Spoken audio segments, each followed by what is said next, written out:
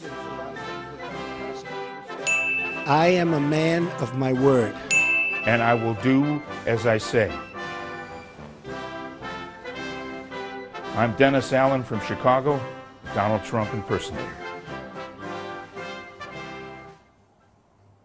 Uh, it, it's fortunate for me that I seem to have some basic infrastructure in my face that resembles Donald Trump, so I don't need any prosthetics or you know like inserts or anything that other impersonators might might need.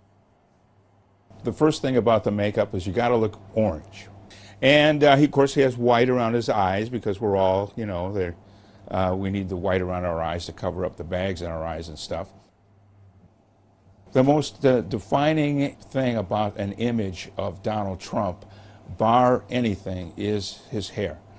The hair is the signature thing that uh, um, uh, that you must have. Imagine there's no gun laws,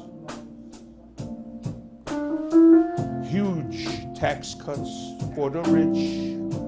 It was a little bit more fun before he won the election because everyone, including myself, didn't think he was going to win.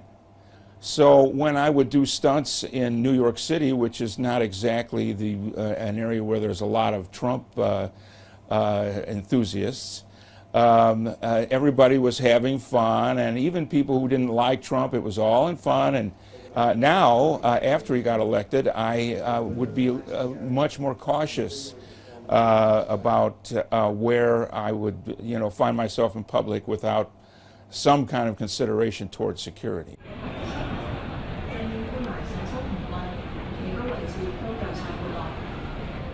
People in America are concerned about the celebrity part of Donald Trump and the celebrity part of politics. Hey, doll. Whereas I'm finding uh, people here in Hong Kong, I, I can get into very, very deep discussions about political dynamics and uh, go, well, yeah, well, Trump is, Trump is certainly a celebrity, but the conversation quickly goes to political issues, and that, that did surprise me.